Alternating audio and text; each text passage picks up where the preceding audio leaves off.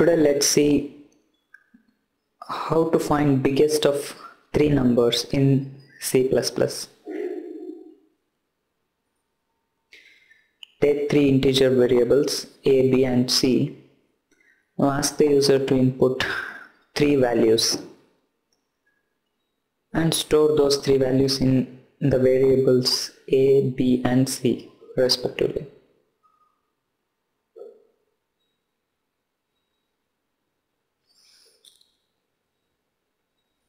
Now the logic. If a is greater than b, store the value of a inside the variable big.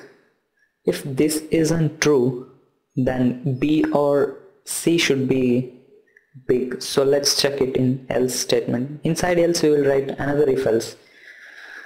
That is if b is greater than c, then store the value of b inside the variable big else it is common sense that c is big so we shall store c inside big. Now with this logic biggest of three integer numbers can be found. Now let's output the value of variable big which contains the value of biggest of three numbers.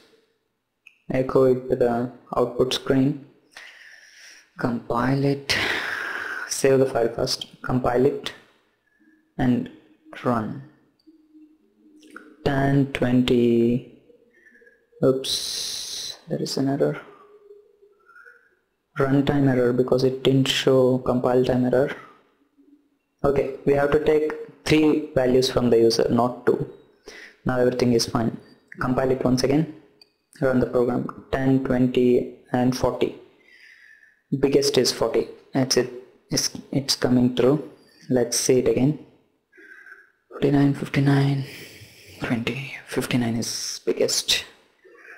Okay this else is similar to writing inside the bracket. The control executes the code inside else when it knows a is not biggest. Now we have to check only of b and c so we'll check if b is greater than c